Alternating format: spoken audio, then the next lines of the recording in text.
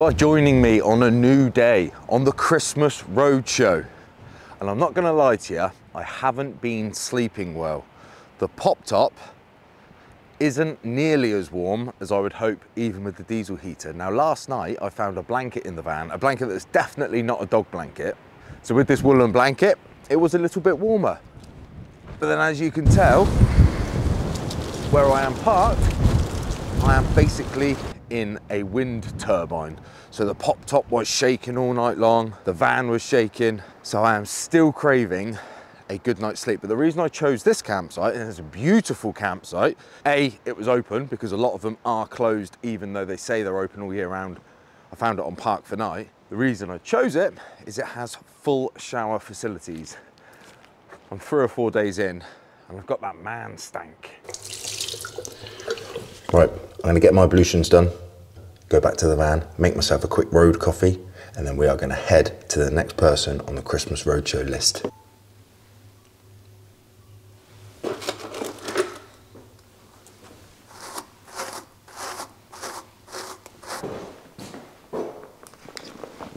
You're well out of order. So I genuinely am quite heartbroken that I broke my camera yesterday. It's the, the frame on it is all, I'll put a picture over the top of it, but I am genuinely upset about it. So I'm just looking through potential collaborations as a YouTuber. I can review a set of binoculars that are about $19.99. I've got rose gold coat hangers that I could in fact review. What else have I got? One car radio, power station from a company called FF.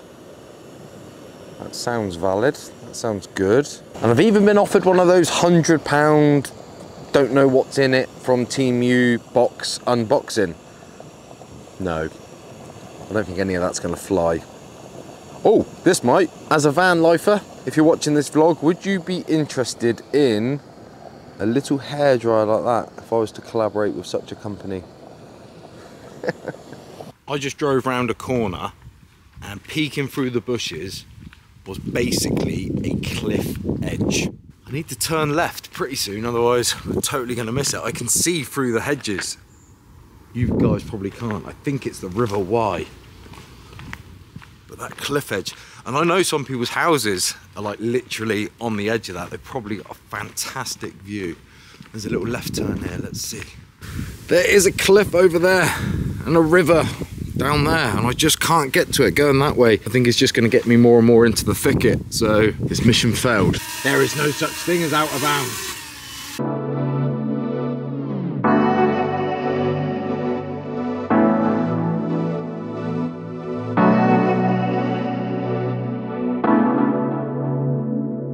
Let's bring this bad boy home before I break another piece of expensive equipment because it is windy and I've never done this before, but I literally cannot see where I started. I'm not a very good drone operator. I usually just wait until I can hear it and bring it in.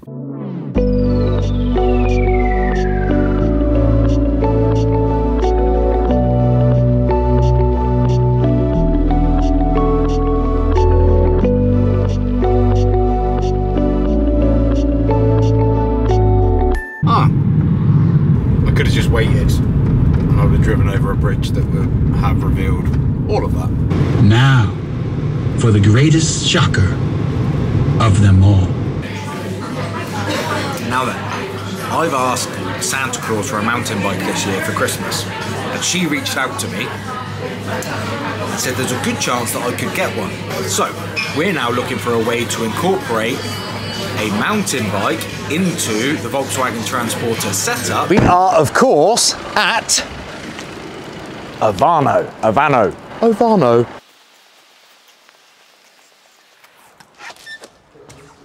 Ho, ho, ho, Merry Christmas, everybody.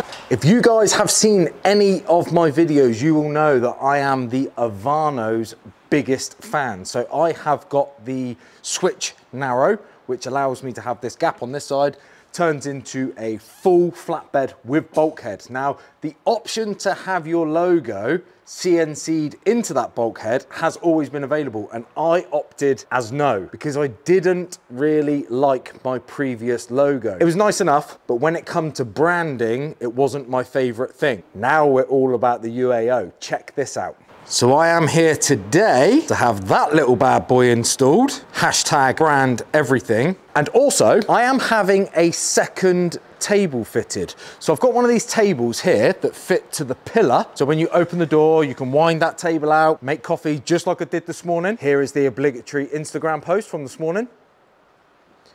But I am now opting to have one on the right hand side. Ultimately best if you've got driver's side sliding doors, which is the Californias, the Oceans, or twin sliders.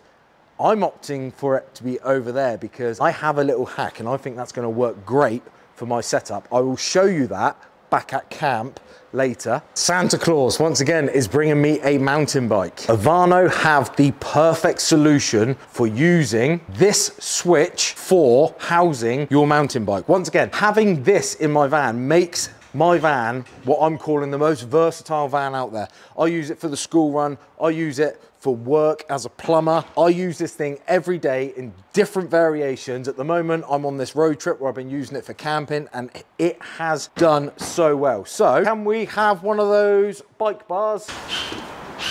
While Josh is fitting those little brackets, and I will show you those, just want to let you guys know that a lot of the things I'm here for today can in fact be posted out. This, I could have probably even paid a courier to have that sent to me, but I had enough reasons to come and visit with all that was going on. And I wanted a full demonstration of how this bike bar is fitted. Let's be honest, I just wanted an excuse to come down here and see the guys at Ovano because these guys, they're the nicest in the business. Bumped into these guys at Busfest and whether or not they wanted me to or not, I was sat there for a couple of hours having a good laugh and a good drink with them. So definitely worth checking their stuff out. I think it's the OG. I think it is the best stuff a lot of these accessories, like I say, can be sent out. Let's go back in and see how he's getting on. Cannot hold him back. He is now changing the bulkhead, or the bulkhead panel, which is going to then become the bulkhead. Quick glance at this before he comes over and shows me. This is the bike bar in its position now. So move the front wheel, the forks will sit down in there like every other bike mount in the world. That's gonna sit there. The bike is gonna sail itself through there and you can in fact still open the drawer and access it. Still got access to that drawer, right, Josh? Access, generous size drawer with the bike on. Generous size drawer with the bike on. Now, chances are, if you are out mountain biking, that kind of thing, that is then going to be filled with biking paraphernalia anyway. So the bike will be the first thing to come out. And then we simply lift that little baby out and store that on the side of your tray. Once again, making this the most versatile Volkswagen Transporter in the world. Right, we are done, guys. Check that out. Oh, you can't see it, there's a bike in the way. Look at it. So much happier with that as a logo than I was the hexagon that I had from before. But there it is. It's the bike mount from Ovano. Please give us a quick demonstration, Josh. Key features are pretty self-explanatory one mountain bike on the narrow bar, stores using the bike bar here. As you can see, I've set it up quite with quite a generous space up top. So when I get my bike, because that's obviously your bike and your setup, I'll adjust that bar to best suit my height. Exactly that. So I imagine even you're probably on a bigger bike than us, but set like this, you'll probably still have plenty of room like this. Excellent. But if for some reason you've got a smaller bike, lift the bar up higher, gain more draw height underneath still. So bigger items as you can see, still a really good draw height here, get full face helmets and things underneath. So I stick my front wheel in there, all of the bike paraphernalia, all of the cool gear. So in the long wheelbase, the bulkhead can remain up position so I can still camp and sit the other side, but the short wheelbase will probably be a little bit different. Yes, short wheelbase, because of the length of the majority of bikes these days, you, will have to have it set up as a bed scenario, so you won't, you will lose the, um, the use of the combi seats in the back, but still a means of carrying two yeah. bikes if you've got an XL and having a user. Oh, so the X, XL would be two bikes? Exactly, yeah. Sweet. Right, I've got a question for you. Sat at camp last night, had a quick look through your website, um, and I urge all of you guys to do that because they do more than just the switch or the narrow itself. Loads of accessories, like the table that I'm going to show you. Got two tables now, and there's a reason for that. But I saw something that said refer a friend. Yes, indeed. Can you talk me through that? Yeah, so refer a friend. It's basically a bit of a, a thank you for for uh, like sharing the word. So if you go on our website, you can get a code. You get five percent off, and as does your friend when they place an order via our website. All of the viewers are my friend. Can I offer all of them that ten percent during December? Sorted. Put them on the spot there a little bit, but during December, UAO 10 at checkout and you will receive the full 10% off and you're not giving any away to your friend. You can if you want, but you don't have to. UAO 10 on anything at Ovano at checkout during December. That's my Christmas gift to you. Come here. Right, mate, it is time for me to hit the road because I've still got to find a campsite for tonight, and that is not as easy as you think it might be this time of year. A But- day like today. I know it's absolutely horrible. Before I go, please would you mind wishing everybody a Merry Christmas? Yes, Merry Christmas from everyone here at Ovano.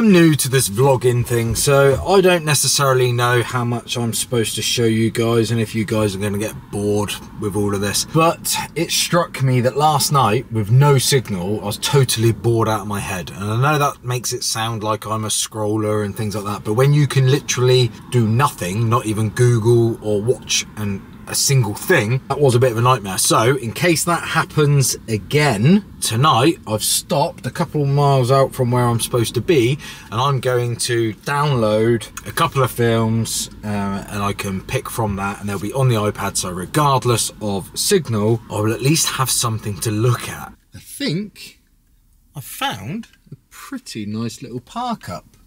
It's hard standing, it's gravel, there's only about 16 plots very family run, you know, probably an old farm, probably, I don't know, assumptions, that um, has got a change of use. But looking over there, there's literally, I won't show you because there's nothing to see. And that's the point, there's no lights. So I wonder if I'm going to get a bit of a view when I wake up in the morning. But I've got a bit of scran to cook. And I want to show you this table, but I do feel like having a bit of a shower to wash the day off. And that's once again why I chose this very basic yet hopefully substantial campsite.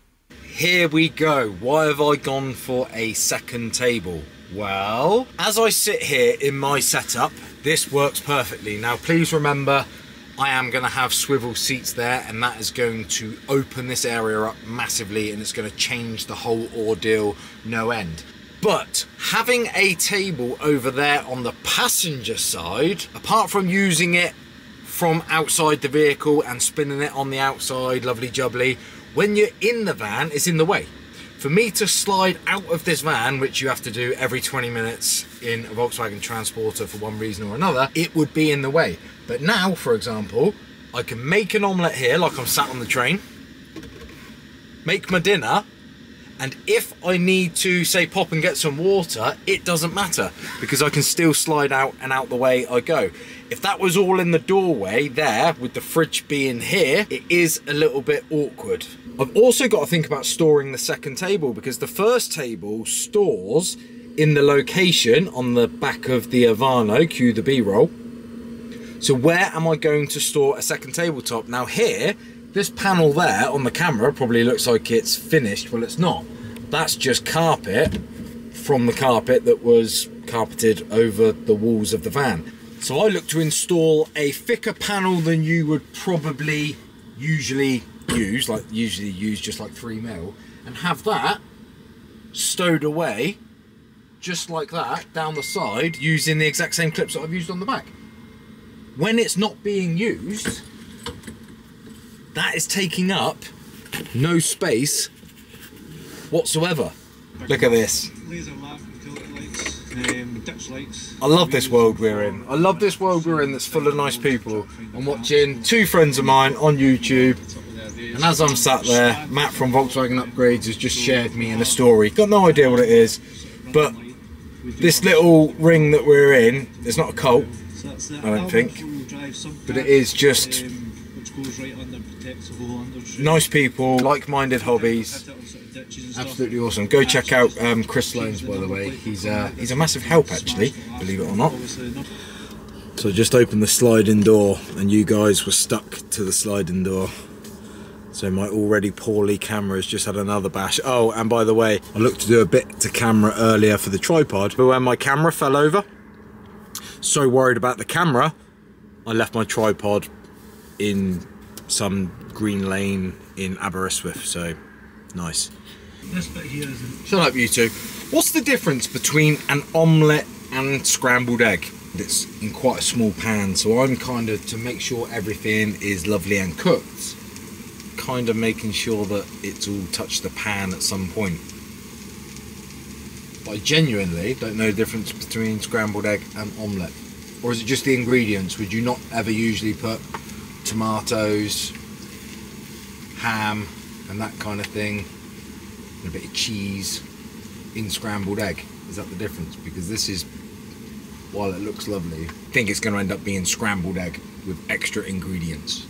I'm also holding back on the secret hack because I'm not quite ready to show that. So stay tuned on the Christmas Roadshow to see why one Ovano table isn't quite enough. Geordie and a Scottish man making a YouTube video. Whatever next.